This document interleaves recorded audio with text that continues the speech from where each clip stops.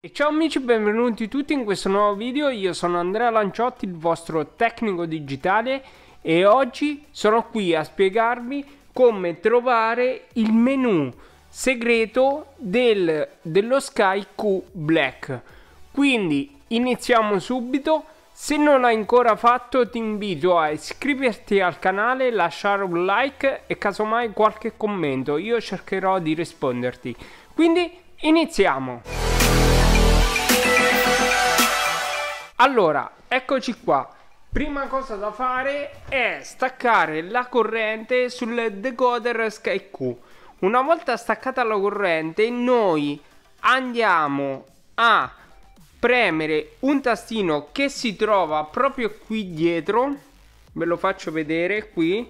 Questo è il tasto di reset dello SkyQ.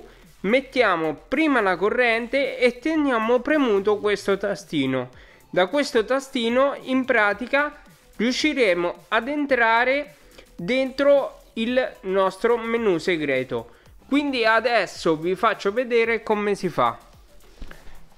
Prepariamo. Mettiamo la corrente al decoder e facciamo partire il decoder. Vedete? Ecco qui.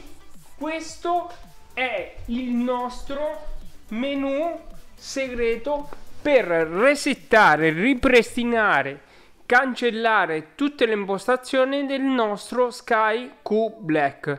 Come potete vedere potete fare un aggiornamento software, un aggiornamento software di primo livello, potrete cancellare direttamente la memoria, potrete anche fare il ripristino di fabbrica, il rollback e il riavvio del decoder. Tutto questo usando o il tasto Sky qui e il tasto Home per scorrere il menu. Molto semplice, interattivo.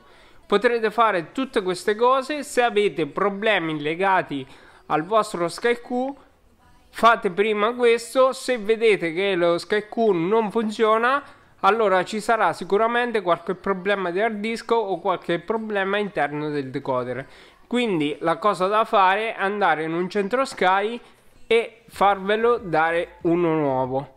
E niente per questo video è tutto. Vi volevo solo spiegare questo tipo di cose come ripristinarlo è molto semplice.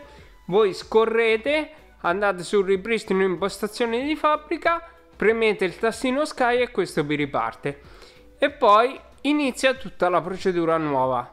Quindi se ti è piaciuto questo video lascia un like, iscriviti al canale e ci vediamo nei prossimi video. Ciao a tutti da Andrea Lanciotti, il vostro tecnico digitale. Ciao!